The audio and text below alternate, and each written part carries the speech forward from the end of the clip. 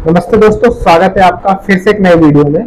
दोस्तों, आज मैं आपके लिए लाया हूँ नॉर्फ्लॉक्स 400 एम टैबलेट का रिव्यू आज की वीडियो में हम जानेंगे कि जो नॉर्फ्लॉक्स टैबलेट है, ये किन किन कामों में इस्तेमाल की जाती है, इसके क्या क्या यूजेज हैं क्या क्या बेनिफिट्स हैं, सब कुछ कंप्लीट इन्फॉर्मेशन मैं आपको देने वाला हूँ इस वीडियो में और वीडियो में आपको काफ़ी नॉलेज मिलने वाली है। लेकिन दोस्तों, उससे पहले अगर आप हमारे चैनल पर नए हो तो चैनल को सब्सक्राइब ज़रूर करें और साथ ही साथ बेल के आइकॉन को भी ज़रूर प्रेस करें, जिससे कि हमारे आने वाली वीडियो के अपडेट्स आपको रेगुलर मिलते रहें। तो चलिए दोस्तों रिव्यू को शुरू करते हैं। तो दोस्तों, सबसे पहले हम ये जान लेते हैं कि जो नॉर्फ्लॉक्स चार सौ की टैबलेट आती है मार्केट में ये कौन सी कंपनी बनाती है, इसकी एमआरपी कितनी है तो इसके बारे में हम पहले जान लेते हैं। बात करते हैं इसके कंपनी के बारे में तो दोस्तों सिप्ला कंपनी इस दवाई को बनाती है। सिप्ला कंपनी काफ़ी बड़ी कंपनी है और आपने इसका नाम ज़रूर सुना होगा। बात करते हैं इसके पैकेजिंग के बारे में तो एक पत्ते के अंदर दस टैबलेट निकलती है और एक पत्ते का प्राइस है सेवेंटी एट रुपीज़ तो चलिए बात कर लेते हैं अब इसके बेनिफिट्स के बारे में किन किन कामों में इस दवाई का इस्तेमाल कराया जाता है। दोस्तों इस दवाई का इस्तेमाल यूरिन इन्फेक्शन में कराया जाता है। अगर आपके पेशाब के रास्ते में जलन होती है, पेशाब के रास्ते में खुजली होती है तो उस कंडीशन में आप इसका इस्तेमाल कर सकते हैं।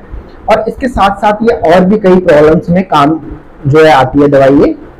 और मैं आपको बता देता हूँ किन किन काम में इसका इस्तेमाल कराया जाता है। दोस्तों, अगर आपके पेट में जो है मरोड़ होती है, अगर आपको दस्त लग रहे हैं, या फिर पेट में किसी तरीके का कोई इन्फेक्शन हो गया है तो उस कंडीशन में भी आप इस दवाई का इस्तेमाल कर सकते हैं।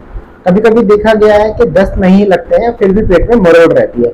तो उस कंडीशन में भी आप इस दवाई का इस्तेमाल कर सकते हैं। इससे काफ़ी बेनिफिट मिलता है। और डॉक्टर भी इस दवाई को काफ़ी रिकमेंड करते हैं अपने पेशेंट्स को, जिन लोगों के पेट में प्रॉब्लम रहती है इन्फेक्शन रहती है, या फिर उनको यूरिन इन्फेक्शन की प्रॉब्लम है। तो ये सारी प्रॉब्लम्स में इस दवाई का इस्तेमाल कराया जाता है। अब चलिए बात कर लेते हैं इसकी डोज के बारे में। इसको लेना कैसे है? दोस्तों, आप अगर एडल्ट हैं तो एक एक गोली सुबह शाम लीजिए।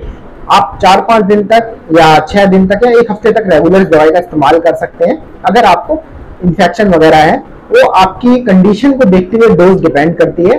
आपको डॉक्टर जब आप डॉक्टर को दिखाने जाएँगे तो आप डॉक्टर आपको जो है डॉक्टर बता देंगे कि किस तरीके से इसकी डोज लेनी है, क्योंकि डोज जो डिपेंड करती है पेशेंट की कंडीशन के ऊपर कि आखिर उसको प्रॉब्लम क्या है। जो भी प्रॉब्लम हो, उसी हिसाब से डोज भी दी जाती है।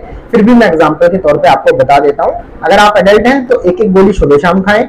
अगर किसी बच्चे को देनी है, दस दस ग्यारह साल का कोई बच्चा है तो उसको आप आधी आधी गोली दे सकते हैं सुबह शाम इस तरीके से आप इसकी डोज ले सकते हैं। आप चलिए बात कर लेते हैं इसके साइड इफ़ेक्ट के बारे में।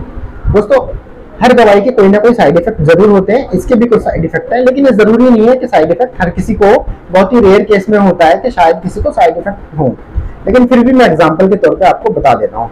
दोस्तों, अगर इस दवाई को खाने के बाद आपको नोजिया की प्रॉब्लम हो वेटिंग की प्रॉब्लम हो, या आपको जो है उल्टी जैसे करने का मन करे, या फिर आपको डायरिया की शिकायत हो मतलब इसको खाने के बाद आपका पेट खुश्क हो जाए या आपको डाइजेशन में प्रॉब्लम हो तो आप समझ जाए ये दवाई आपको सूट नहीं कर रही है, इससे आपको साइड इफ़ेक्ट हो रहा है। तो ऐसी कंडीशन में आप अपने नजदीकी डॉक्टर से किसी से कंसल्ट करें और उनको बताएँ ऐसी दिक्कत हो रही है तो वो आपको सही सलाह देंगे।